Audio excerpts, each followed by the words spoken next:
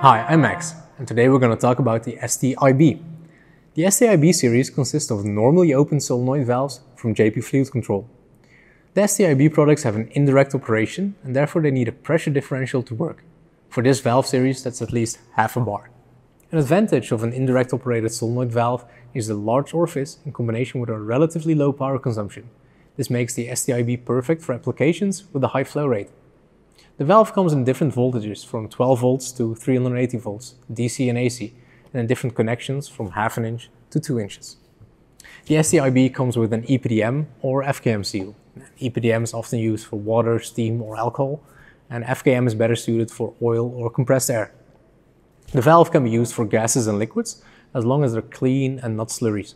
In addition to a brass variant, which is suitable for neutral and non-corrosive media, the STIB is also available in a stainless steel version. This is more suitable for salt water, distilled water, or corrosive solutions. Most of the valves are normally closed, such as the STIA series, but in situations where you usually want to be open and closed periodically, normally open solenoid valves are a nice solution.